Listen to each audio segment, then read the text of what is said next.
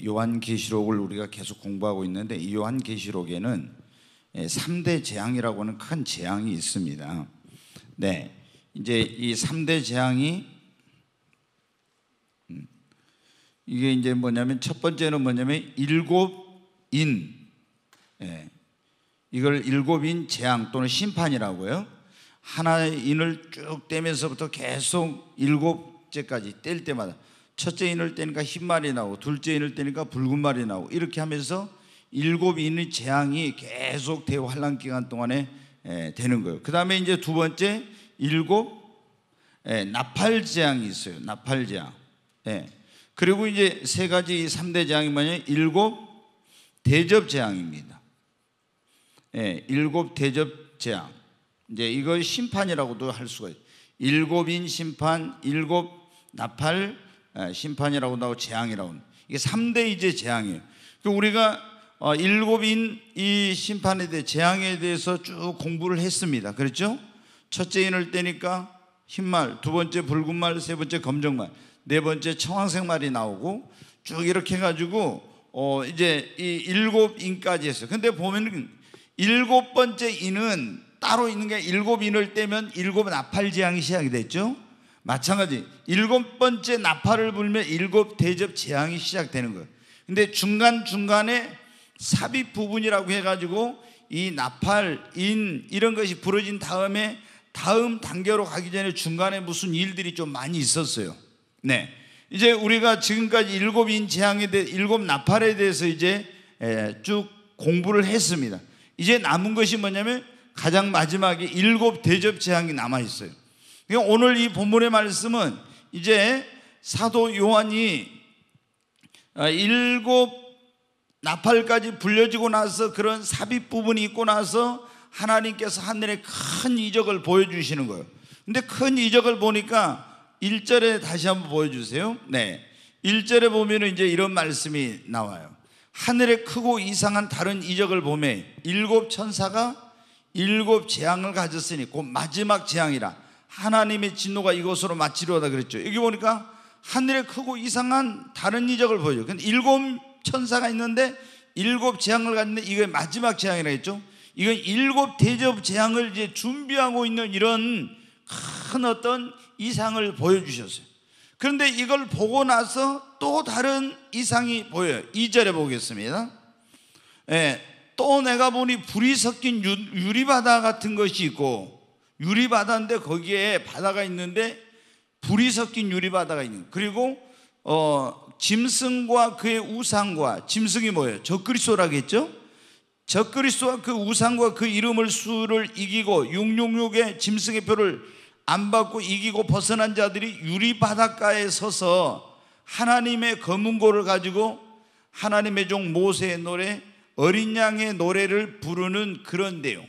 어, 근데 이제 거기 보니까 그 노래의 내용이 크고 놀라우신 일을 행하신 전능하신 하나님, 참되고 의로우신 하나님, 만국의 왕이 되신 거룩하신 하나님께 경배와 찬양과 영광을 돌리는 그런 내용이 이제 쭉 나온 거예요. 자, 오늘 이제 이 내용을 자세히 이제 하나하나 좀 살펴볼 겁니다. 예, 먼저 불이 섞인 2절에 다시 한번 보여주세요. 불이 섞인 예, 유리 바다가 유리 바다 같은 것이 있고 그랬잖아요. 그리고 짐승과 그의 우상의 이름의 수를 이기고 벗어난 자들이 유리 바닷가에 서서 바다는 바다인데 유리 바닷가에 서서 하나님의 검은고를 가지고 하나님을 경배하고 하나님께 영광을 돌리는 이런 게 나와요. 불이 섞인 유리 바다 같은 것이 있고 이걸 이제 알려면 우리가 뭘 알아야 되냐면은 하나님의 성전의 구조를 좀 이해를 해야 됩니다. 그러면 이제 이스라엘 백성들이 애굽에서 이제 종살이하다 구원받아 가지고 나왔을 때 하나님이 그들을 신의 산으로 불러 가지고 이제 하나님을 만나고 하나님께 예배를 드리는 그런 장소로서 광야에서는 이동을 해야 하니까 성막이라는 것을 만들어라 겠어요. 근데 이제 이스라엘 백성들이 나중에 가나안 땅에 들어 가지고 나라가 안정이 됐을 때 다윗이 성전을 지으려고 했는데 하나님이 너는 피를 많이 흘렸으니까 하지 말고 네 몸에서 날 아들이 해라. 그래서 솔로몬이 성전을 건축했어요. 근데 이 성막이나 성전은 어, 하나님께서 그걸 다 보여주셨어요. 뭘 보여주냐? 하늘에 있는 성전의 그런 모습을 보여주면서 너희 광야에서는 이동하기 쉽도록 이렇게 하고 이제 그 가나안 땅의 약속의 땅에 들어가서는 고정된 에루살렘의 모리아산의 그 장소에다가 하나님의 성전을 짓도록 했어요. 근데 이제 이 성전은 뭐냐면 우리가 어, 성전에 가서 하나님께 예배를 드리고 하나님을 만나는 이런 장소가 바로 성전이에요. 신약에는 이제 그게 뭡니까? 교회죠. 아멘. 오늘 두세 사람이 내 이름으로 모인 곳에 나도 그들 중에 있겠다고 말씀하신 주님이 이곳에 함께하고 계신 것입니다. 구약 시대는 어떻게 돼요? 반드시 하나님을 우리가 예배하고 만나려면 어디로 갔어야 돼요? 예, 하나님 성전으로 갔어야 되죠. 근데 이제 예수님께서 요한복음 4장에 보면 사마리아 여인에게 우물가에서 만난 여인에게 뭐라고 있습니까? 너희는 그리심산에서 그리고 유대인들은 에루살렘에 사는데 이제는 에루살렘에서도 그리심산에서 말고 예배할 때가 오나니 곧 이때라. 이제 뭐예요? 성령이 임하면은 이제는 에루살렘으로 갈 필요가 없는 거예요. 예수의 이름으로 모인 그곳이 주님의 성전이 되고 교회가 돼서 하나님께 예배를 드립니다. 자, 오늘 이곳에 주님이 함께 하신 줄로 믿습니다. 근데 이제 성전이 또는 성막이라고 하는 이게 구조가 똑같아요. 어떻게 되어 있냐 하면은 단면도를 한번 보겠습니다. 아, 이걸 평면도라고 해야 되겠네. 음. 한번 보여주세요. 성전에. 어.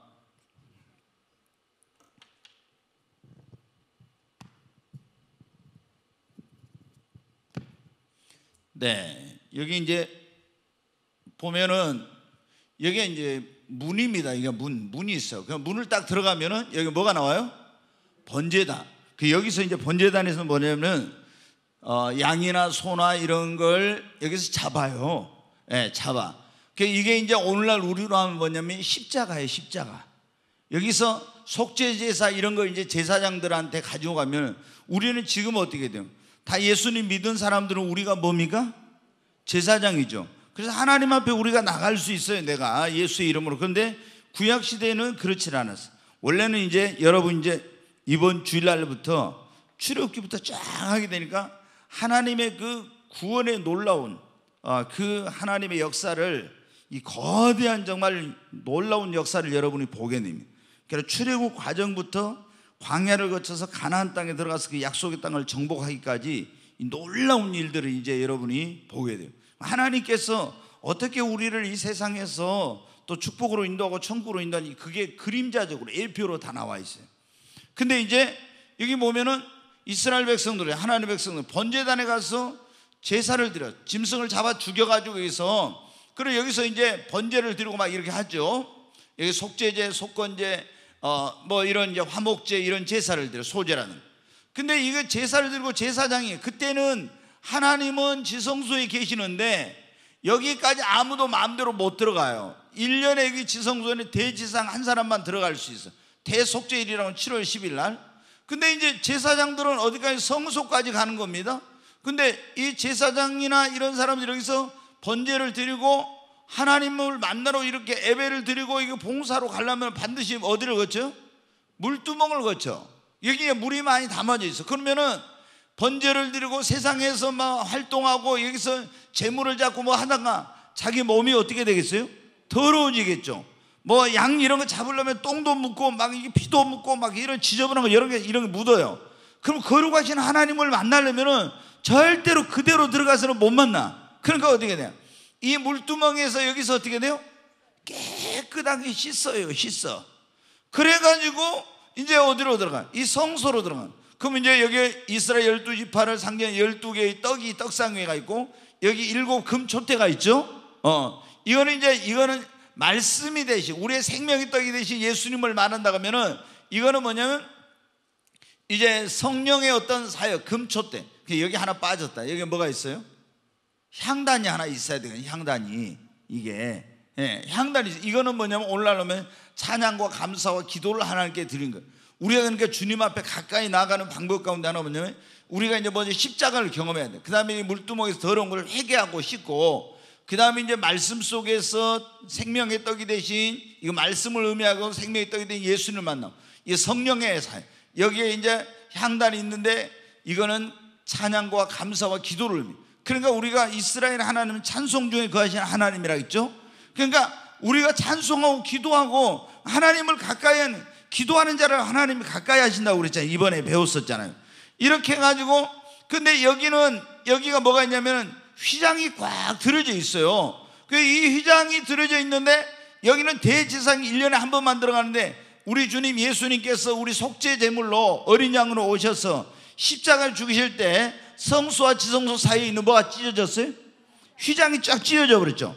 그래서 이제는 대제사장이 아닌 우리들도 누구 앞에 나갈 수 있다? 하나님 앞에 여러분 나갈 수 있는 거예요. 근데 이제 이게 뭐냐면 지금 여기에 지금 이것이 하늘에 있는 것의 모형이에요. 하나님께서 하늘에 있는 성전의 모형을 여기 보여주셨는데 이게 이제 거기는 이걸 성전에서 또 바다라고도 하는데 이게 물두멍 이걸 바다라고도 이제 해요. 근데 보니까 하늘나라 성전에 지금 환상으로 딱 보니까 거기 성전에 뭐가 있냐면 유리바다가 있는 거예요. 근데 불이 섞인 유리바다가 있는 거예요. 근데 불이 섞인 유리바다, 오, 이거 이제 약해지네. 유리바다 가에서 이거 뭐를, 이 가에서 뭐를 불러요? 아, 모세의 노래, 어린 양의 노래를 부르고 있다 했죠. 네, 모세의 노래, 어린 양의 노래를 부르서. 근데 이 사람들이 어떤 사람들이라겠어요? 다시 거기 2절에 한번 보여주세요. 그 사람, 내가 보니 또 불이 섞인 유리바다 같은 것이 있고 짐승과 그의 우상과 그의 이름의 수를 이기고 벗어난 자들이 유리바다가에 서서 이렇게 나오죠. 뭐를? 짐승과 우상이 경배하지 않고 그 666표를 안 받은 사람들이 유리바다가에 서서 하나님의 검은 고를 가지고 모세의 노래 어린 양의 노래를 불렀다겠죠. 자, 근데 여기서 이제 중요한 게 뭐냐? 조금 전에 이제 이제 단면도로 이제 제가 이렇게 아, 이걸 평면도로 하게 해야 되나? 음. 이렇게 이제 있으면 여기가 이제 문이라고 해요. 그럼 여기 번제단이 있었어요.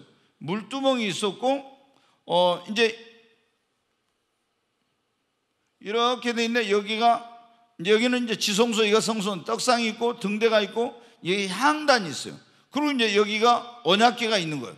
하나님을 만나려면은 우리가 이게 성소나 성전에 이것은 아 우리가 하나님을 만나려면 어떻게 해야 돼 이걸 보여주는 거예요.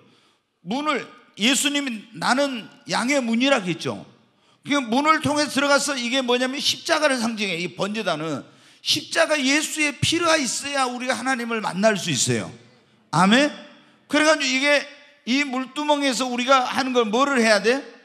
이 씻는 것이 뭐예요? 더러움을 씻는 거예요. 회개. 예수 믿고 십자가 피로 구원 받았어도 우리가 또 뭐 해요? 더러워지죠. 그러면은 더러워지면 그대로 거룩하신 하나님을 못 만나요. 그러니까 예수님께서 식사하고 나서 발을 씻기니까 베드로가 뭐라 했어요? 어우 선생님 저는 못해요 막 그랬죠. 네가 씻지 않으면 나와 상관없다. 그러면 저를 목욕까지 시켜주세요 그랬죠. 이미 목욕한 자는 뭐밖에? 발밖에 씻을 필요가 없다. 그 이미 목욕했다는 것은 뭐예요? 영적으로 이미 구원받았다는 거예요. 구원받았어. 여러분이 예수님을 믿었으면 이미 목욕해서 구원받았어요. 그렇지만 구원받았지만 또 살아가다 보면 발이 더러워진 것처럼 우리가 뭐가요? 또 더러운 것이 이 추한 것이 여러분 묻게 되죠. 그럼 그걸 씻어야 돼. 근데 그걸 뭐로 씻어요? 예수의 보혈로 씻는 것입니다. 근데 이제 여기는 이건 지금 하나님 올 때 여기가 물을 담아놨어요. 여기다 노테아에다 이걸 바다라고 내 이게 물을 담는. 그럼 여기서 더러운 것을 제사장들이 막 씻어. 그래가지고 이제 이게 성소 안에 들어가서 떡상과 등대가 있죠. 그러니까 여러분 보시오. 이건 떡은 말씀이라고 할 수도 예수님, 우리 생명의 떡인데 이건 성령을 의미해요. 그 다음에 이거는 기도를 의미하는데 우리가 보면은 이 안에서 제사장들이 봉사를 해. 봉사를 하려면은 반드시 여기 컴컴하지 않고 진짜 환한 데서 봉사를 하면 뭐가 불이 어때야 돼요? 등대에 불이 켜져야 되겠죠. 아멘? 그러니까 우리가 하나님 앞에 나와서 제사장으로 봉사를 하면 성령의 충만함을 받아야 돼요. 성령의 기름 부음을 받아야 됩니다. 이거 없이는 컴컴한 가운데서 뭐가 보여야 아무것도 안 보이지. 예? 그러니까 우리가 또 하나님을 가까이 하려면 어떻게 한다고요? 여기가 기도와 감사와 찬양을 의미한다겠죠. 예, 그래서 이제 기도할 때 제일 우리가 하나님이 가까워지는 거예요. 아멘. 그래서 여기서 씻게 되는데 지금 하늘나라에 보니까 이게 뭐 이것이 세상에 있을 때는 물로 돼 있는 하늘나라는 이게 뭐로 돼 있어요? 유리로 돼 있다 유리. 그런데 여기가 불이 섞인 유리 바다야. 그러니까 유리도 우리가 보면 돼. 이 성전에 보면 또 노, 놋으로 된게 있어. 근데 이 안에가 놋으로 있는데 물을 담아놨는데 거기 보면 어때? 자기 모습이 비치게 돼 있어요. 그래야 뭐가 더러운지 알고 있을 거 아니에요. 거울같이 돼 있어. 그러면 유리로 우리가 여러분 어때요? 거울이 유리로 돼 있잖아요. 딱 보면 어때요? 아, 내가 여기 뭐가 묻었구나. 뭐 이런 거 다 알잖아요. 그 유리 바다 여기를 딱 지나가면서 하나님 만나려면 어떻게? 나를 비춰보는 거. 보니까 어떻게? 아, 더러운 게 있네? 그러면 이제 여기 제사장은 여기서 물로 씻지만 하나님의 나라의 이 지금 자기의 더러운 것을 발견하고 씻는 이 바다는 무슨 바다? 불이 섞인 유리 바다라겠죠. 그러니까 우리가 더러운 것을 깨끗하게 하는 방법이 구약에 세 가지가 있어요. 어떻게 하냐? 그러면 금방 여기 나온 것처럼 물로 씻어서 더러운 부정한 거 더러운 걸 씻는 거 있고 또 하나는 불로 태워서 정결하게 하는 법이 있어. 불로. 어. 그러니까 불로 태울 수 없는 거 물로 씻는데 불로 태워서 여러분 새벽에 이제 레이기 하고 있으니까 저긴데 이제 더 하면 아마 나오나 어떻게 앞으로 지나간다 거 보니 이게 불로 태워서 정결하게. 또 하나는 뭐예요? 피를 발라가지고 피로 정결하게. 그러니까 우리가 여러분 어떻게? 자, 하나님의 그 하늘나라 갔을 때 여기서 여기를 지나야만이 불이 섞인 유리, 유리 바다를 지나야만이 하나님께로 갈 수 있는데 여기가 불이 섞인 유리 바다라는 거. 그러면 우리가 하나님께로 나가서 여기서 유리 바닷가에서 노래를 부른 사람들은 반드시 여기서 뭐를 했다는 거예요? 자기의 더러운 것을 불로 뭐 했다? 태워서 정결하겠다는 거예요. 성경에 보면 소멸하는 불이다 이런 말씀 있잖아요. 네. 그러니까 세상에서는 우리가 어떻게 했냐? 십자가를 통과하고 더러워진 사람이 물로 씻었지만 하나님 앞에 하늘나라 나아갈 때 이 여기서는 뭐로 했다? 불 섞인 유리바다를 통과하면서 아 유리바다 거기서 내가 이렇게 더러워졌구나 이거 보고 했냐? 불로 태워서 정결하게 가지고 간다는 거예요. 그러면은 오늘날 이것을 우리로 하면 어떻게 했냐? 자, 우리는 뭘 가지고 내가 이게 아, 더럽구나 뭐 이런 걸 이제 알 수 있어요? 말씀으로 알 수 있죠? 예, 네, 말씀으로. 그럼 이제 말씀으로 알고 내가 어떻게 합니까? 회개해야 되겠죠? 그리고 예, 예수의 보혈로 어떻게 돼요? 깨끗하게 씻어. 그리고 어떤 것은 성령의 불로 어떻게 돼요? 태워버리냐, 소멸해. 그래가지고 우리가 하나님 앞에 가는 거예요. 자, 이제 표정들을 제가 보니까 아, 좀 진짜 뭐 반응이 없어가지고요. 에, 이거 어떻게 해야 될지 내가 참 지금 좀 고민스러운 겁니다. 자, 불이 섞인 유리바다가 있었어요. 근데 그 유리바다를 통과해가지고 조금 전에 말씀드린 여기 유리바다를 불이 섞인 유리바다가 있는데 이 가에서 뭐를 부르는 사람들이 있었어요? 모세의 노래, 하나님의 종 모세의 노래, 어린 양의 노래를 부른 사람들이 있었다 했죠. 예. 이 가에서 하늘나라에 보니까 이거 어마어마하게 이제 크니까 이건 하늘나라의 성전에는 여기서 모세의 노래, 어린 양의 노래 이걸 부르는 사람들이 있었어요. 어, 어린 양은 누구를 말합니까? 예수님을 말하죠. 이건 뭐냐? 그럼 구원의 노래, 승리의 노래를 부르는 거예요. 음, 구원의 노래, 승리의 노래를 여기서 불러. 자, 근데 하나님의 검은고를 가지고 하나님의 종 모세의 노래, 어린 양의 노래를 부르는데 이 사람들이 어떤 사람들이라고 다시 2절 한번 보겠어요. 2절 보여주세요. 자, 또 내가 보니 불이 섞인 유리바다 같은 것이 있고 짐승과 그의 우상과 그의 이름의 수를 이기고 벗어난 자들이 유리 바닷가에 서서 하나님의 검은고를 가지고 노래를 부른다 했죠. 여기 보니까 어떤 사람? 첫째, 짐승과 그의 우상과 그의 이름의 수를 이기고 벗어난 자들 그랬죠. 예, 그럼 이제 다시 한번 보겠습니다.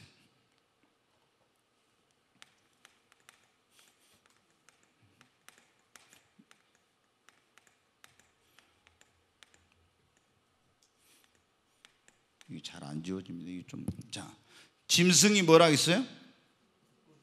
예? 적그리스도 그랬잖아요. 예.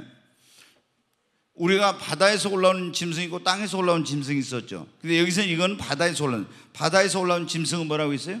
그게 적그리스도. 땅에서 올라온 짐승은 거짓 선지자다 그랬죠. 예. 근데 이제 이 짐승과 그 우상 그러면 여러분 보세요. 대환란 때 어떻게 한다겠습니까? 이제 우리가 7년 대환란이 이렇게 있으면 이게 3년만 3년만 나눠지는데 이 중간에 누가 나타나요? 적그리스도가 나타나. 그러면 하나님의 성전에서 자기 우상을 딱 세워놓고 자신에게 그리고 자기 우상에게 뭐를 하라고요? 경배를 하라 가죠. 안 한 사람은 다 어떻게 합니까? 죽여. 그리고 이제 또 뭐를 받으라고 짐승의 표에 뭐를요? 666 표를 받으라고. 그 이제 이 전까지는 이때까지는 뭐 이렇게 뭐 어려움도 있고 이제 시험도 있고 신앙생활하면서 항상 그런 거 있지만은 이 세계적인 어떤 그런 지도자 이 적그리스도가 나타나 가지고 본격적으로 자기가 하나님이라 하면서 로마 시대 그 황제들처럼 일본의 천황처럼 나를 경배해라 절해라 이런 건 없었는데 이런 일이 이제 시작이 되는 거예요. 그게 이제 엄청난 이제 그리스도인들이 박해를 많이 받아. 그 이제 보십시오. 짐승과 그 우상에 절하지 않으면 죽이고 666 표를 안 받으면 매매를 못하게 하고 하니까 이걸 못 이기고 받아버린 사람들이 있고 이걸 이기고 안 받은 사람들이 있죠. 근데 이 사람들은 지금 이 유리 바닷가에 서서 하나님의 종 모세의 노래 어린 양의 노래를 부르는 사람들은 어떤 사람들이겠어요? 이 적그리스도가 이렇게 핍박을 하고 죽이고 육류표를 안 받은 물건 사고 팔고 할 이걸 하라고 할 때 안 하고 이기고 벗어난 사람들이라겠죠. 이런 가운데서도 이기고 벗어난 사람들이 어떻게 된다고요? 여기에서 하나님의 성전에 있는 유리바닷가에서 모세의 노래 어린 양의 노래를 부르면서 하나님께 이건 천국이에요. 천국에서 하늘나라에서 그거를 이제 이렇게 한다 이 말이에요. 하나님을 예배하고 만약 이걸 못 이긴 사람들은 어떻게 돼요? 666 표를 받아버리고 이제 다음에 첫째 대접 나옵니다. 666표를 받아버리고 우상에 절하고 이런 거 하게 되면 어떻게 돼요? 여러분 지난번에도 나왔잖아요. 쉼이 없는 지옥에 가서 어땠다? 고통을 당하고 어마어마한 이 땅에 있을 때부터 잠깐 이거 너무 무서워가지고 막 봤잖아요. 그러면 죽어서 지옥만 가는 게 아니라 이 땅에 있을 때부터 엄청난 고통을 당하는 게 엄청나. 그러니까 아 어리석은 사람들이 이거 모르고 오늘 이거 육류표 없으면 물건 사고 팔고 뭐 하는데 받아야지. 아니 이게 전하지 않으면 다 죽인다는데 받아야 절해야지. 그런 사람들은요 바로 하나님의 어마어마한 진노와 심판이 그들에게 임해요. 죽어서만이 지옥에 가는 게 아니라 근데 이런 환란과 박해 속에서 여기에 이제 적그리스도가 나타난다 했잖아요. 적그리스도가 이 적그리스도가 나타나가지고 여기서 이렇게 막 하는데 이거 안 한 사람들은 어떻게 하냐? 이 하나님의 성전 하늘로 올라가서 예수님 재림하기 전에 7년 대환란이 끝날라 할 때 예수님 재림하는데 재림하기 전에 이미 공중으로 올라가서 하나님의 그 앞에서 이제 여기서 뭐가 시작돼? 일곱 대접이 시작되거든요. 일곱 대접 심판이. 근데 일곱 대접 심판 안 받고 이 사람들은 하늘나라로 올라가 버렸어요. 여러분, 우리도 올라가야 됩니다. 네. 자. 이 사람들은 대환란 때 짐승 적그리스도가 자신을 경배하라 우상을 만들어 경배하라고 짐승의 표 육류표를 받아 안 받은 사람들 믿음을 지키고 환란 속에서 오직 하나님을 경배하고 그것을 견디고 이겨낸 사람들이 이기고 벗어난 자들이라 했잖아요. 그 사람들이 어떻게 돼요? 저기 하늘나라에 올라가서 하나님의 그, 어, 그 성전에 들어가서 거기서 불 섞인 유리바닥가에 서서 거기서 하나님을 찬양하는 이런 일을 하게 되는 거예요. 자, 그러면은 이들이 언제 하늘나라로 올라갔을까? 이게 궁금하죠, 또. 아니 언제 그러면 하늘나라로 올랐어요? 지난번에 여러분 잘 들어보세요. 지난번에 우리가 그런 말씀을 했죠. 계시록 14장에서 추수가 두 번 있었어요. 추수가. 근데 이제 첫 번째 추수는 무슨 추수였어요? 알곡 추수. 이건 알곡을 추수했죠. 그렇죠? 또 하나 추수는 뭐요? 포도송이 추수. 전혀 안 들어본 것 같다, 이게 표정이. 아, 난 진짜 반응이 있어야 뭐 할 거 아니에요. 근데 뭐 이거 언제 한 번도 들어본지 않은 것 같은 좀 편. 알곡이 익었다. 그래가지고 공중에 보니까 누가 예수님이 공중 재림했다 했잖아요. 공중에 재림했는데 천사가 내놔서 당신의 낯을 휘둘러 알곡이 익었으니 곡식이 익었으니 거두소서 했다 했죠. 이 사람들은 뭐한 사람들이다? 성도들 구원받은 성도들 가운데 영혼이 알곡이 되고 성숙한 사람들을 말한다 했죠. 근데 알곡을 거두라 하니까 예수님이 낯을 휘둘러 거둬 가지고 이 환란 가운데 이 땅에 지금 이게 이제 후 3년 반이에요. 이 막 여기 지금 엄청 저 그리스도와 이 어려움을 당하고 있었어요. 근데 이런 환란과 핍박 속에서 예수님 의지하고 저 그리스도와 그 우상에 절하지 않고 육육표를 안 받고 있는데 주님이 여기 공중에 재림하셔가지고 이 사람들을 여기서 공중에 재림해가지고 팍 끌어올려 버린 거예요. 이게 뭐냐면 바로 이제 뭐냐면 그래가지고 어디로 갔어요? 천국으로 간 사람들. 근데 이 공중으로 휴거돼가지고 올라가 버리고 나니까 이 땅에 뭐가 임했어요? 포도송이 추수 심판을 하라 했죠. 어, 악인들에 대한 이건 심판이라 했잖아요. 그래가지고 1600 스타디온 피가 말 굴레만큼 피가 쌓이고 1600 스타디온 320km나 피가 이렇게 높이로 해가지고 흘러가는 얼마나 많은 사람이 죽는 무시무시한 그런 심판을 하게 된다 했잖아요. 근데 이런 심판이 있기 전에 올라간 사람들이 있었어요. 추수, 알곡 추수대가 올라간 그 사람들이 지금 뭐냐면 이 사람들이에요. 지금 여기 불 섞인 유리바다 가운데서 모세의 노래, 어린 양의 노래를 부르고 있는 사람들. 네. 이제 조금 이해가 됩니까? 자, 저 사람들이 이제 휴거돼 가지고 올라간 겁니다. 천국으로 올라. 그 주님이 사도 요한에게 이걸 보여주시면서 이걸 기록하는 건 뭐냐?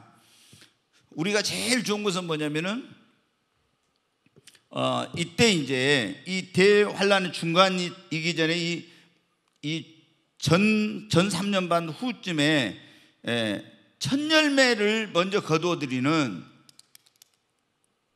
어, 첫 열매를 거두어 드리는 그 뭐가 있었냐면은 휴거가 한 번 있어요.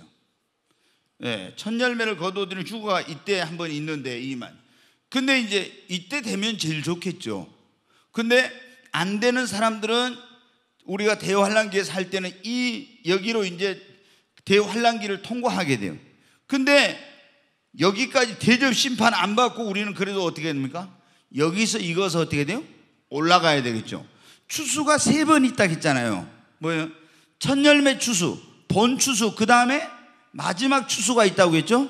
그럼 여기서 올라가지 못한 사람들은 이 일곱 대전 심판을 막 여기를 엄청난 고통스러운데 또 통과해. 그래서 예수님 재림하기 전에 땅에 무덤 속에 있는 자가 부활할 때 그때 공중으로 끌어올려서 그 강림하시는 주님을 만나게 되는 거예요. 근데 우리가 이때까지 가지 말고 만약에 우리 시대에 7년 대 환란이 온다면 제일 좋은 것은 첫 열매 휴거입니다. 그러나 여기 안 되고 우리가 이거 환란을 통과하게 되면 우리는 이 공중의 주님이 재림했을 올라가서 하늘나라 가가지고 불 섞인 유리 바닷가에서 하나님의 종 모세의 노래 어린 양의 노래를 부를 수 있게 되기를 바랍니다. 근데 왜 이걸 그럼 주님이 보여주고 기록해 놨냐? 그것은 뭐냐? 너희들이 여기서 적그리스도가 나타나 가지고 자기를 경배하라고 우상이 경배하라고 육룡표 안 받으면 막 물건 사고 팔고 못하게 할 때 힘들고 어려워도 이걸 견디고 이기라는 거예요. 조금만 참으면 너희들 공중으로 올라가서 하나님의 그 성전에서 거기서 노래를 부를 수가 있다. 근데 이게 어렵다고 이걸 못 참고 경배하고 적그리스도를 경배하고 우상에 경배하고 표를 받아버리면 무시무시한 심판을 통 이게 받게 된다는 거예요. 그래서 이거를 미리 일곱 대접 심판을 이 적그리스도와 그 우상에 절하지 않는 사람들은 일곱 대접 심판을 받아요, 안 받아요? 안 받아. 그렇죠? 이 전에 올라가면 일곱 대접 심판이 지금 준비하고 있을 때 딱 보여줬잖아요. 올라간 걸 보여줬잖아요. 여러분이 이해가 안 되면은 이거를 유튜브에서 좋은 점은 그거 같아. 이제 또 들어보고 또 보고 이렇게 해가지고 이런 걸 이제 좀 이해를 해야 돼. 제일 여러분 이단들이 성도들을 많이 미혹한 게 뭐예요? 요한계시록 가지고. 그 너무 사람들이 요한계시록에 대해서 모르니까 그걸 막 아전 인수격으로 자기 마음대로 해도 아니 말도 안 되는 소리 뭐요? 이 저기 뭐냐면 우리나라에 어, 신천지나 이런 이단들은 보면요 성경에 나온 동방을 전부 어디라고 풀어요? 한국이라고 풀어 한국 자기가 이제 감남나무다 자기가 구원자다 이런 거 하려니까 성경에 나온 동방을 전부 뭐라고? 어, 다 이거를 뭐냐면 한국으로 그래가지고 뭐 그 용문산 그 청계산 뭐 있잖아요 막 이런 식으로 해가지고 풀어. 근데 성경을 모르니까 거기에 다 그게 다 넘어가는 거예요. 네 여러분 어디? 막 신천지가 보면 그러잖아요 교회 이름을 시온교회라고 하잖아요. 왜? 14만 4천이 어디에서 그 저기 예수님과 함께 새 노래를 불렀어요? 시온산에서 그랬잖아요. 그, 그 시온산이 땅에 있는 시온산이 하늘에 있는 시온산이에요? 하늘에 있는 거예요 저 시온산이 이스라엘에도 있어요. 이스라엘인데 그게 시온산이 아니요. 저 하늘에 있는 시온산에서 부르는 거예요. 근데 그거를 뭐예요? 신천지 같은 거는 뭐 청계산을 막 시온산이라게 해. 그래도 다 믿어. 그래갖고 30만 명 되는 사람들이 어떻게 돼요? 거기에 빠져가지고 이만희한테 막 어떻게 됩니까? 완전히 모든 걸 다 바치잖아요. 얼마나 이게 이런 가장 큰 문제가 뭐냐? 어, 이게 이 성경을 모르기 때문에 특히 그들이 뭐냐면 이만희가 뭐냐 계시록의 실상이라 해가지고 그런 책을 썼어요. 계시록의 실상. 그게 뭐냐 전도관에서 어디 통일교에서 어디서 가서 여기저기서 배운 이 이단들이 뭐냐면 여기저기서 안 좋은 것만 배운 걸 다 모아가지고 자기한테 딱 맞춰가지고 그걸 써먹는 거예요, 여러분. 응? 그게 이제 하루아침에 된 게 아니라 여기서 이단들이 한 거 저기서 한 걸 다 모아가지고 집대성을 한 거예요, 나름대로. 그렇게 한 거예요. 근데 이걸 성경을 모르니까 거기 넘어가는 거예요, 사람들이. 자, 이제 예, 성경에 보면은 이기고 벗어난 자들이 승리, 이기고 벗어났다는 거, 승리하고 구원받은 사람들이라는 거. 예, 우리가 성경에 보면요, 항상 이 승리하고 구원받은 사람들은요, 새 노래를 불러요. 자, 조금 전에 이제 제가 말씀을 드렸는데 한번 다시 이제 보겠습니다.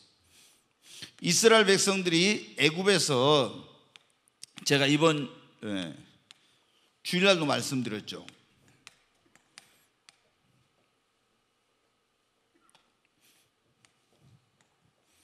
네, 애굽에서 종살이 했어요. 이제 그들이 한 430년 살았는데 어, 뭐 430년을 다 종살이한 건 아니에요. 근데 이제 이 사람들이 거기서 이제 바로왕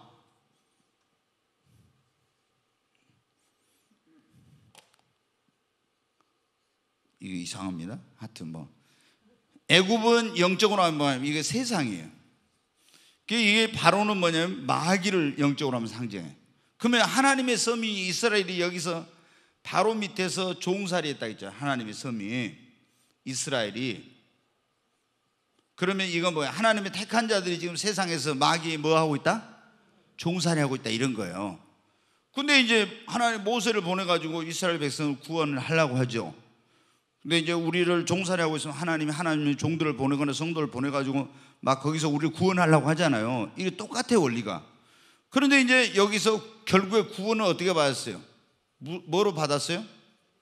어린 양이 뭐 가지고 피 유월절을 그랬잖아요. 다 심판할 때 그럼 어린 양이 누구라 했어요? 구원은 뭐로 받는다? 예수의 피로 구원을 받아요. 그렇죠? 예수 피로. 근데 이제 구원받은 사람들이 여기서 이제 나올라게 근데 이제 아 막 심판 열 가지 재앙이 이루어지니까 도저히 안 되겠어 나가라 했는데 이스라엘 백성들이 홍해 여기 있는 데서 진을 치고 있으니까 바로 왕의 마음이 다시 변해가지고 또 잡으러 오죠. 여기 지금 홍해 바다가 있네. 홍해. 이스라엘 건널 수 있어요 없어요?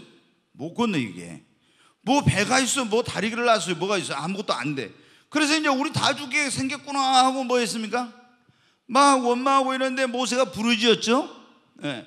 부르짖었더니 하나님께서 모세와 지팡이를 내밀고 백성 나가라게 하라 그랬죠 지팡이 내밀고 백성들하고 가라고 하니까 바다가 어떻게 있어요? 갈라지고 길이 났어요 그래서 이제 길이 여기 쫙 나가지고 이스라엘 백성들이 건넜죠 그, 근데 애국 군대도 어떻게 돼요?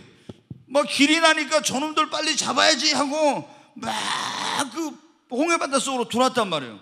근데 이스라엘 백성들 딱 건너고 나니까 하나님이 어떻게 다시 이 물을 어떻게 하라고?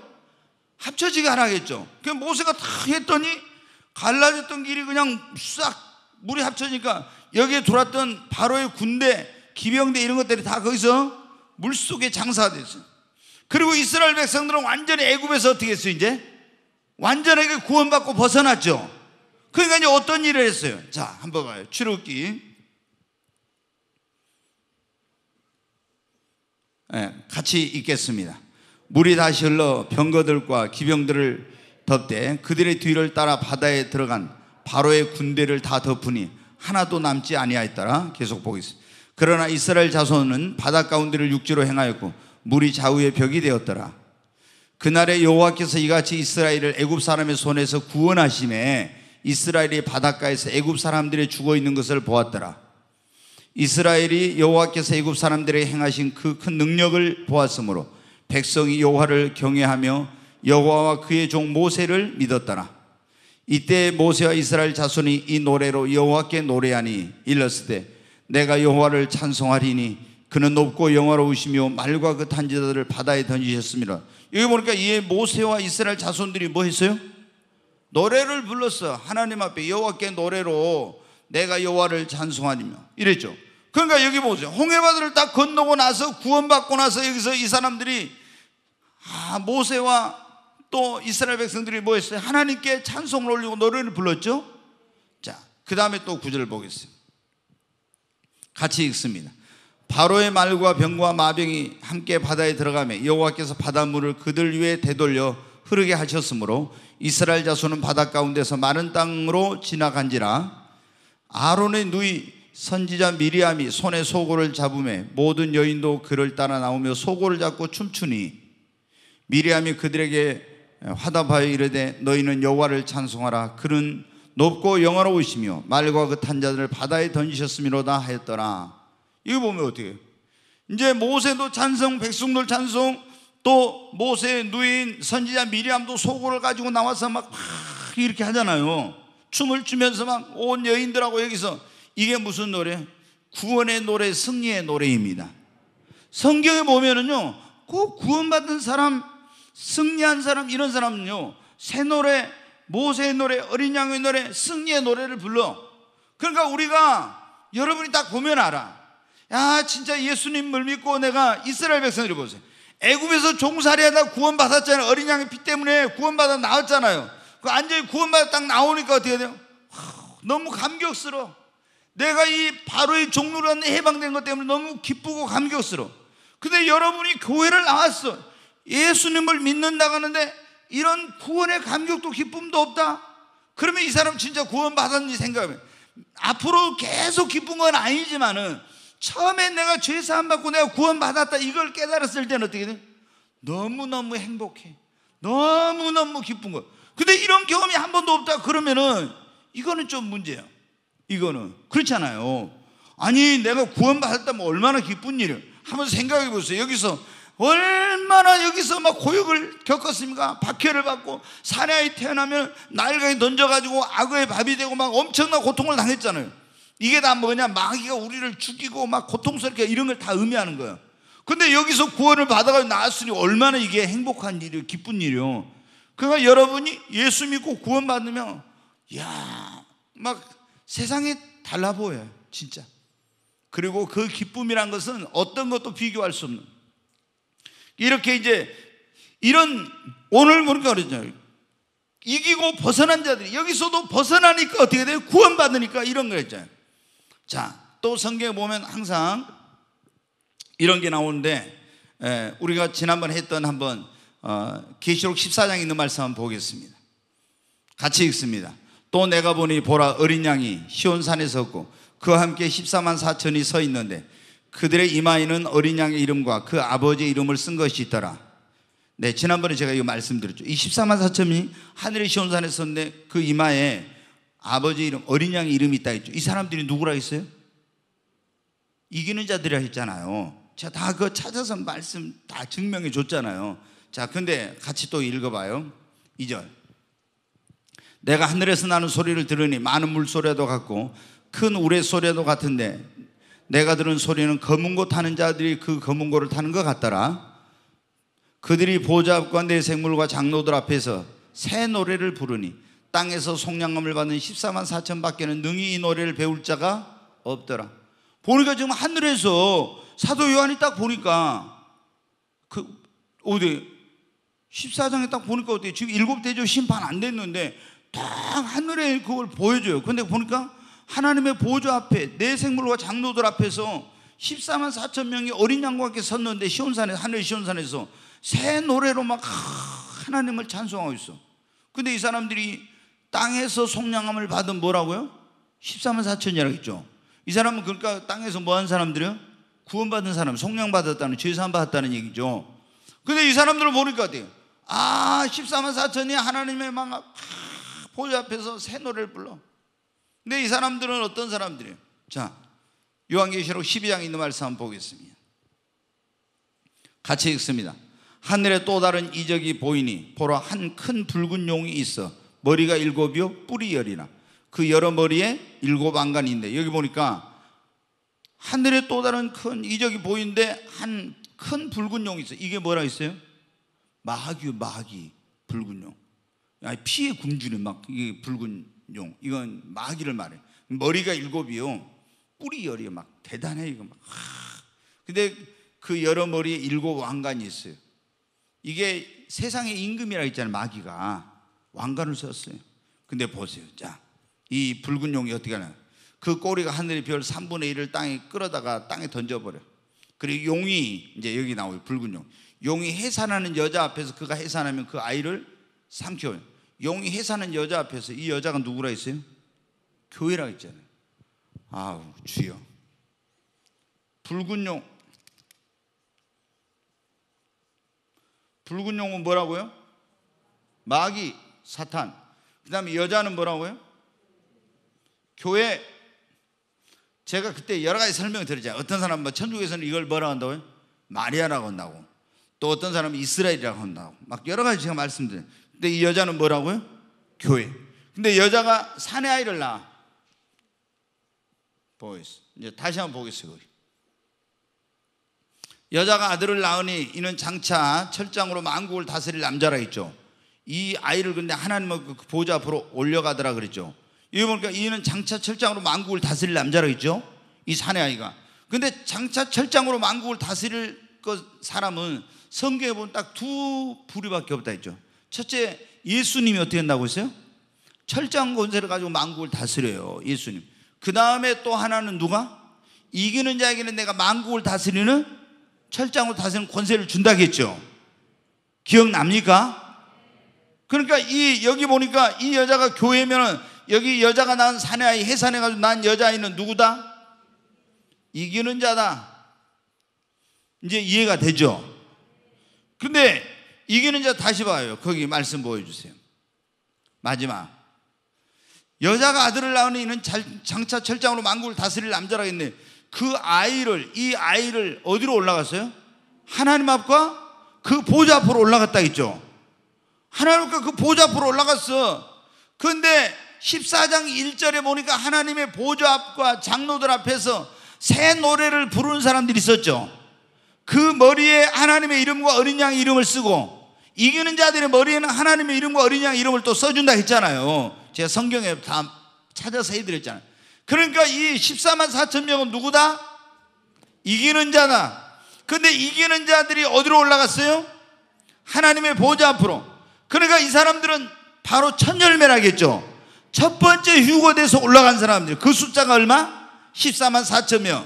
그리고 이제 대환란 중간 지나서 또 한 번에 알곡 추수를 해가지고 올라가는데 이 사람들이 하나님의 성전으로 가는 거예요. 그래가지고 거기에 붉은 유리 바닷가에 서서 거기서 모세의 노래, 어린 양의 노래를 부르며 하나님께 영광을 돌리는 것입니다. 주여, 성령여 도우소서. 아멘. 자, 그러면 이 본문에 나오고 있는 유리 바닷가 서서 가에서 하나님의 검은고를 가지고 하나님의 종 모세의 어린 양의 노래를 부르는 이들이 누구라고 했어요? 7년 대호 환란 때 후 3년 반에 어떻게 해요? 음, 자, 다시 보겠습니다. 7년 대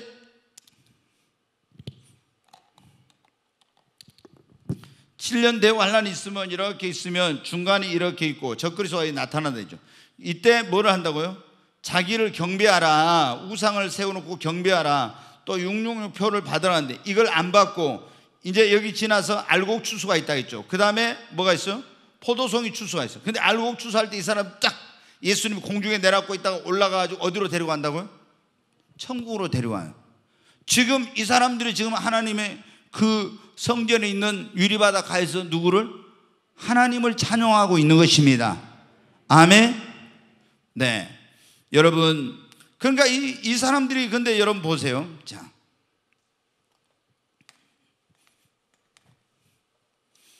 에, 이게 이제 한번 생각해 보세요. 여기 이제 여기가 어, 중간이에요, 이제. 근데 이때 적그리스도가 막 이렇게 핍박하고 할 때 힘들어요, 안 힘들어요? 엄청 힘들어요. 적그리스도 그 자기의 경배하지 않고 우상에게 경배하지 않으면 다 어떻게 된다 했습니까? 다 죽인다겠죠. 육룡표 안 받으면 뭐해요? 매매 못하게. 그러면 이거를 다 참고 견디고 승리해야 되겠죠. 그래야 여기서 포도송이 아니 알곡 추수할 때 공중으로 주님이 여기 오셔가지고 우리를 거두어 들여서 천국 곳간에 들여보낼 때 여기서 올라가는 겁니다. 아멘? 근데 여기서 이거 못 이기고 여기서 핍박 올 때 다 거기 절하고 경배하고 육류표 받으면 어떻게 돼요?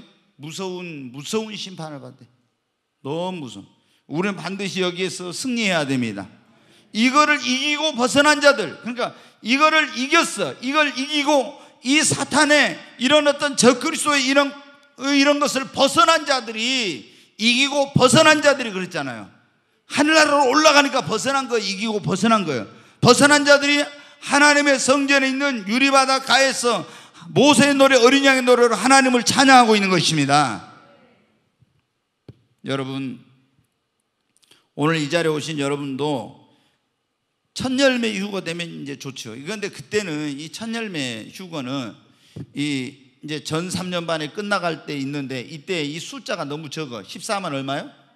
4천. 이게 너무 적어. 여기 들어가면 제일 좋죠. 근데 못 들어가면 여기는 이제 뭐냐면 많은 사람이 이때는 많은 사람이 추수가 돼. 많은 영혼이 추수가 돼. 여기서 못 되면 여기서는 반드시 돼서 올라가야 됩니다. 못 하려고 여기 있게 되면 어떻게? 무서운 일곱 대접 심판을 통과해야 돼. 일곱 대접. 엄청나게 고통스러운 기간인데 이게 기간이 길지는 않지만 아주 고통스러운 기간이에요 이게. 그래서 반드시 여기서 올라가요. 그럼 우리가 저기에 올라가려면 어때? 이제 성 우리 찬송가에도 보면 올라가 올라가 그런데 올라가야 됩니다. 아멘. 그 우리도 이 가운데 들어가려면 어떻게 해? 제일 먼저 첫째 가장 중요한 것이 우리 영혼이 확실하게 구원받아야 됩니다. 네. 제가 또 물어보겠습니다. 여러분 구원 받았습니까? 아, 진짜 구원 받았어요? 네, 교회에 다니면서 우리가 신앙생활, 믿음의 결국은 가장 중요한 게 뭐라 했어요? 영혼의 구원이라 했죠. 믿음 생활하는 가장 중요한 목적은 영혼 구원이에요. 근데 어떻게 구원받습니까?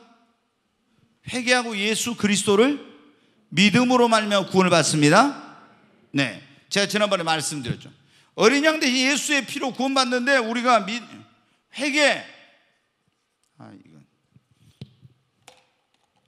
반드시 회개하고 그 다음에 뭐, 뭐 해야 돼요? 예수님을 믿어야 돼. 회개하고 믿어야 구원을 받아요. 근데 이제 많은 경우 지금 우리 한국 교회 잘못된 게 뭐라고요? 회개 없는 그냥 믿기만 하면 된다. 이렇게 가르친다 했죠. 이번에 여러분 지도에서 문제가 됐던 구원파 있죠. 구원파 침례교회. 그게 뭐냐 예수교 침례라고 해가지고 그 지난번에 뭐그 세월호 사건 났을 때 유병원 나왔죠. 그 유병원 씨하고 원래 뿌리가 같아. 그러니까 기쁜 소식 그 뭐 목포교회 막 이런 식으로 있죠. 기쁜 소식 뭐 그거랑 유병원 그 구원파랑 그 다음에 지금 요거는 이요한 구원파라고 하는데 이게 뿌리가 다 똑같아요. 음. 근데 이 사람들의 가장 큰 문제가 뭐냐? 지금 뭐 다른 데서도 많이 그러지만 예, 예수 믿고 구원받은 사람 회개할 필요도 없고 이 사람들은 뭐 새벽 기도도 없고 그거 다 율법적이다. 이렇게 가지고 그런 거 안 해. 오히 성경을 열심히 가르치고 이게 지식적으로 하는. 근데 이제 지금 거기만이 문제가 아니라 한국 교회 가장 큰 문제가 뭐냐면 회개 없는 복음을 전한다는 거예요. 아니 보세요. 세례 요한도 회개하라 그랬죠. 회개에 합당한 열매를 맺지 않으면 도끼가 이미 나무불에 놓였으니 그 찍혀서 불에 던진다고 했잖아요. 너희가 아브라함의 자손이라고 너희들 자부심이 대단한데 이 돌들로도 하나님 아브라함 자손 되게 할 수 있다고 했잖아요. 회개에 합당한 열매를 맺잖아요. 찍어 불에 던지운다고 지옥에 간다는 거예요. 그 다음에 예수님이 회개하라 복음이 어, 회개하라 하나님의 나라가 가까운 눈이라고 전했죠. 예수님도 할 때뭐 회개하라 먼저 그러죠. 그 다음에 오순절날 성령 받은 제자들이 복음 전할 때마다 너희가 각각 회개하여 예수 그리스도 이름으로 제사를 받고 세례를 받으라. 그러면 성령을 선물로 받으니 너희가 각각 회개하여 그랬잖아요. 다 회개하여 회개. 세례관도 예수님도 제자들도 회개. 근데 지금 한국 교회 심각한 문제가 뭐냐면 회개 없이 믿음만 강조해. 이게 얼마 그러니까 예수님을 믿는다는 사람들이 회개를 안 하고 믿기만 하니까 어떻게 돼? 삶의 변화가 없는 거야. 변화가 반드시 회개하면 삶의 변화가 없을 수가 없지. 근데 회개는 안 하고 그냥 믿음만 강조하니까 아, 이게 진짜 심각한 문제. 그러니까 여러분은 정말 예수님 등지고 하나님 등지고 살던 삶에서 하나님께로 삶의 방향을 전환했습니까? 회개해야 돼요. 그리고 나를 구원하기 위해서 2000년 이 땅에 오셔서 내 모든 죄를 짊어지고 십자가에 피 흘려 주시고 죽은 자 가운데 살려 부활하신 그 예수님을 나의 구원자와 주님으로 어떻게 돼요? 믿어요. 영접한다, 믿는다 이거예요. 그렇게 할 때 내가 죄 사함 받고 구원 받습니다. 아멘. 자, 그러면 이렇게 구원받 죄 사함 받고 구원받으면 어떻게 돼요? 한 번 구원은 영원한 구원입니까? 아닙니까? 아니에요. 그러니까 이게 뭐냐면은 우리 지금 한국 교회 잘못된 것 가운데 많은 지금 구원파 이런 데서 특히 아주 잘못된 게 뭐냐면 한 번 구원은 영원한 구원이야. 그러면 한 번 내가 예수 믿고 구원받는 것을 그 구원이 영원한 구원이 되려면은 천국 갈 때까지 뭐 해야 돼요? 믿음을 지켜야 됩니다. 아멘. 내가 구원 받았는데 가서 타락해가지고 예수님 떠나버려. 그 다음에 우상 숭배하고 성령 해방하고 예수님 배교하고 이러면 구원 받아요, 못 받아요? 못 받죠. 그런데 이런 지금 이번에 문제가 됐던 지도에서 성경 강연회라고 해가지고 그 인간들이 뭘 하냐. 그는 그 사람들은요, 우리가 예를 들어 이렇게 구원받았다 했잖아요. 우리가 구원받은 걸 아예 인정을 안 해. 다른 교회는 교회로 치도 안 하고 자기들만 구원을 받는다고 이렇게. 이 구원파들이 거의 그래요. 거의 그래. 그래갖고 이제 하도 막 이제 기성교회에서 정통교회에서 2단이다 막 3단 이렇게 하니까 이제는 어떤 그 자기들도 기성교회와 뭐 이렇게 하려는데 겉으로는 그렇게 한 실상은 전부 다 기성교회는 구원이 없다. 자기들만 구원받나. 그러니까 이 사람들이 우리 교회에도 그 이완 거기 파가 어디냐면 백년로 넘어가는데 하당에 거기 있죠. 굉장히 커요. 근데 거기 있는 사람들이 몇 사람 왔었는데 이제 거기서 막 갈등하다 온 거예요. 근데 하도 거기서 기성교회에 대해서 부정적으로 이렇게 교육을 해놓으니까 이런데 오지를 못 와서 제대로 적응을 못해. 그게 뭐냐면 이단의 이 특징이 그거예요. 신천지 뭐 하냐? 그럼 신천지 다니다가 어 이거 이번에 보니까 잘못됐구나 이거 안 되구나 나오잖아요. 근데 여기를 보다 왜? 계속 거기서 기성교회는 뭐냐 바벨론이다 이렇게 가르쳐요. 바벨론 교회 있으면은 당신들 멸망한다. 그럼 기성교회를 계속 바벨론을 공격 막 이렇게 한 거예요. 그 그게 세뇌되어 있는 거 어때요? 기성교회를 정통교회를 못 오고 또 이제 막 이리저리 돌아다니다 있잖아요. 또 다른 이단으로 가. 왜? 기성교회는 못 오는. 그럼 다른데 다른 데서 기성교회를 바벨론이라고 하는 교회가 있, 이제 또 이단들이 있을 거 아니에요. 그럼 그 교회로 가. 신천지가 잘못된 넌 나와도. 이렇게 힘든 거예요. 근데 이 이요한파 이번에 문제가 된 거기 그런 데서 뭐예요? 회개. 그리고 예수님 믿으면 구원받으면은 절대 회개할 필요가 없다. 왜 회개할 필요가 없냐 그러면 예수님이 나의 과거, 현재, 미래의 죄까지도 다 십자가에서 담당하셔 버렸기 때문에 회개할 필요가 없고 그리고 당신 죄 있어 없어 이런 거로 그러죠. 오원사님한테 내가 교회 예수님 믿어요? 네, 믿는 구원 받았어요? 죄 있어요 없어요? 죄 있냐고 없냐고 물어보면 아 이거 대답하기 좀 그러죠. 그래가지고 죄가 있다고 한다든가 또 회개를 한다든가 이러면 구원 못 받았다. 왜? 아니 예수님이 과거, 현재, 미래 모든 죄를 다 십자가 담당해 버렸는데 또 회개한다 그러면 당신은 구원 못 받았어 그거예요. 그 예수님의 십자가 대속을 제대로 안 믿는다는 거예요.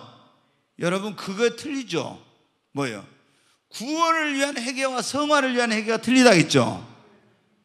그러니까 여러분은 지금 얼마나 제가 여러분이 정확하게 이런 걸 가르쳐 주고 있는지 얼마나 지금 축복된 자리에 있는지는 몰라.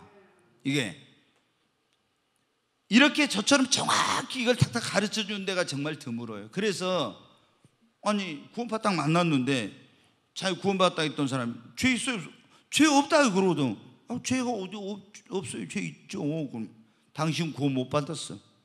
그리고 아니 예수님이 과거, 현재, 미래 죄를 다 담당했다는데 그러면 그거를 회개한다고 하면은 당신은 안 믿는 거 아니냐? 근데 여러분 우리가 그건 틀려. 예수님을 믿으면은 과거에 지금까지 내가 지었던 모든 죄를 다 용서받은 거야. 미래 죄를 용서받는 건 아니야. 그거는 내가 뭐를 해야 됩니까? 죄를 지으면은 회개를 해야 돼. 근데 그 죄를 지은다고 해서 다 지옥 가는 게 아니죠. 사망에 이르는 죄가 있고 사망에 이르지 않는 죄가 있다고 했어요. 지옥에 가는 죄가 있고 예수님 믿는 사람이 우리가 예수님을 회개하고 믿으면 우리는 하나님의 자녀가 된 것입니다. 아멘. 자녀도 잘못할 수 있어요, 없어요? 있어. 근데 한 번 잘못했다고 어때? 내가 지난번에 얘기했죠. 어떤 목사님은 천국과 지옥이 맨날 왔다 갔다 해. 뭐한 번만 잘못하면 지옥이야. 또 뭐 하면 회개하면 천국이야. 그런 교회 다닌 사람은요. 구원의 감격이나 이런 걸 못 느껴. 못 누려. 예수 믿어도 행복하지 못해. 왜?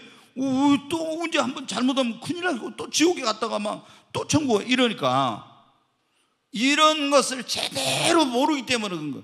우리는 예수님을 딱 믿으면 구원받으면 하나님의 진짜로 회개하고 예수를 믿어서 하나님 자녀가 된 것입니다.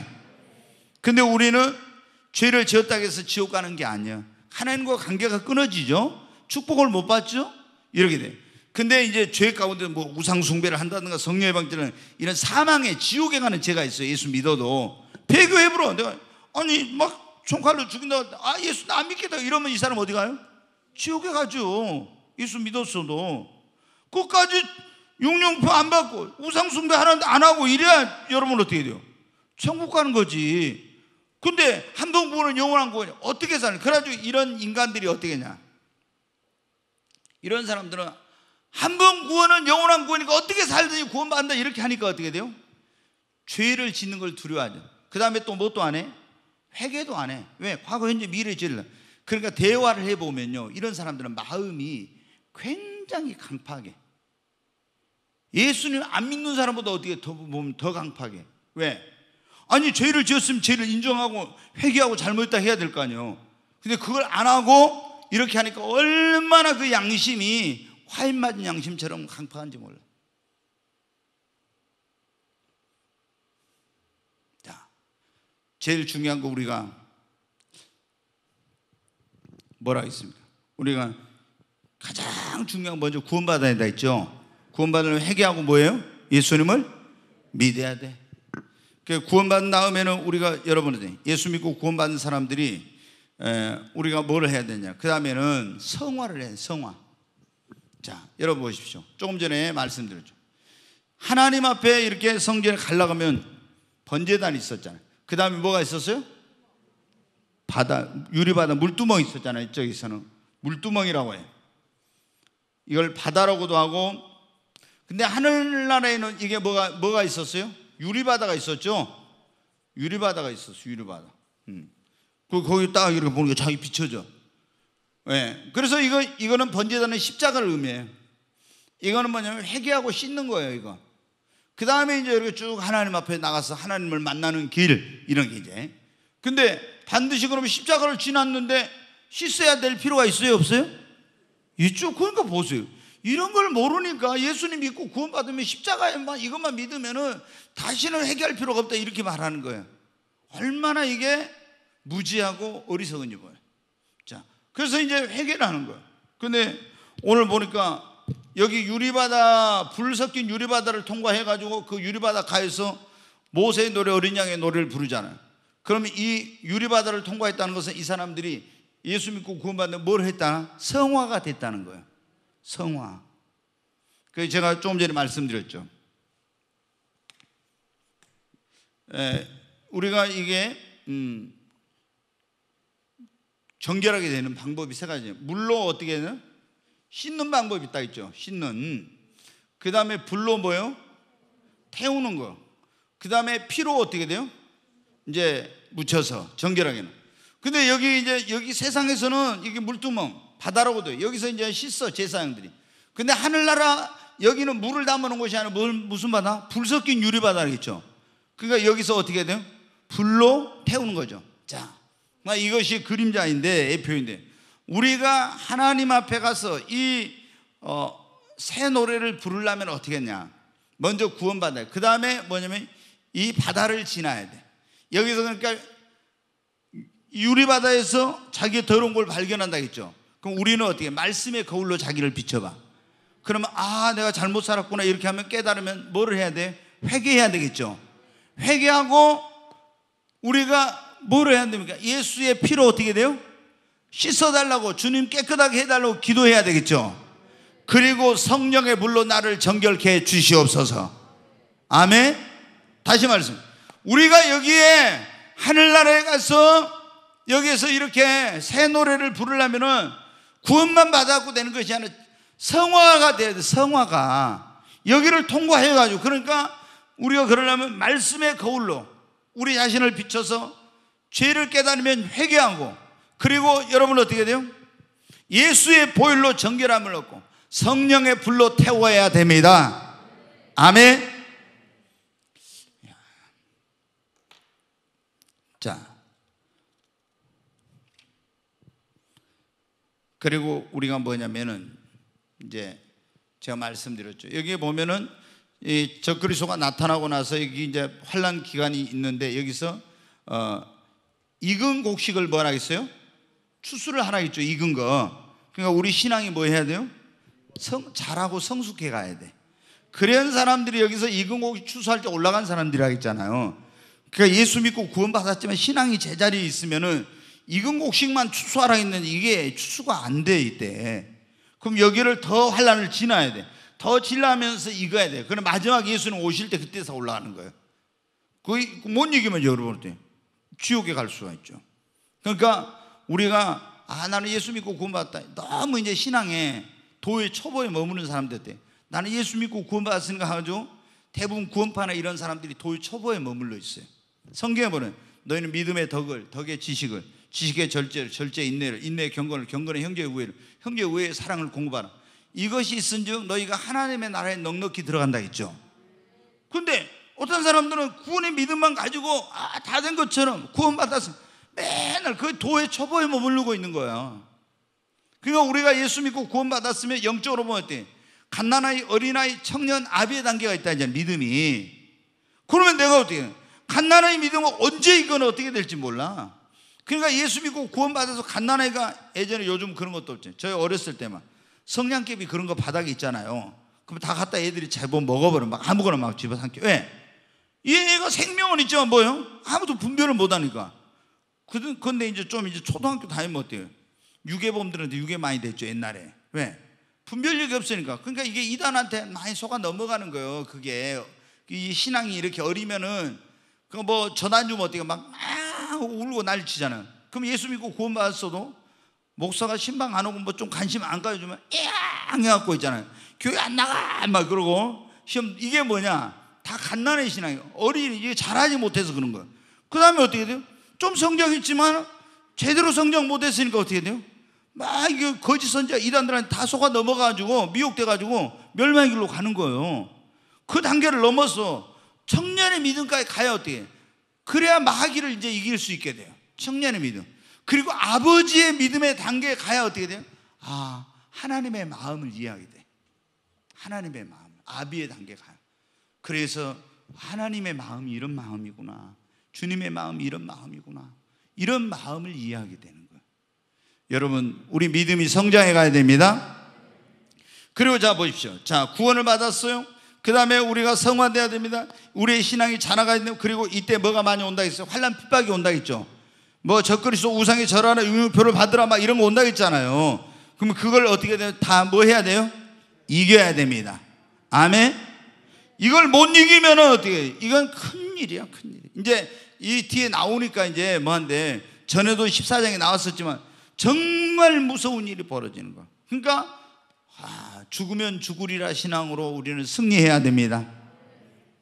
그렇잖아요. 제가 아무리 길어봤자 이게 표 받아봐야 3년 6개월이면 이게 끝나는데 이게 여러분 어때요? 아, 그러면 3년 6개월은 내가 표 받았으니까 적그리스도 했으니까 마음 놓고 사냐? 아니에요, 여러분.